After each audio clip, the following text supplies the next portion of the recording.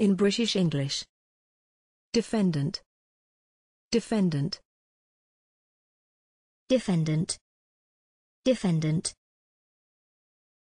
Defendant. Defendant. Examples in phrases and sentences. The defendant was charged with murder. The defendant tried to claim that it was self-defense. Both the claimants and the defendants are in business for the purpose of making a profit. All claimants claim that there was a conspiracy by the defendants to injure them by unlawful means.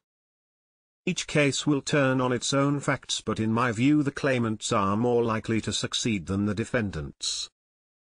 Thanks for watching this video. Please don't forget to subscribe. You can find similar videos for each and every English word in the dictionary on our website.